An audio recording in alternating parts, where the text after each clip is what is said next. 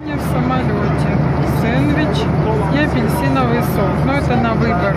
Сейчас посмотрим, с чем сэндвич.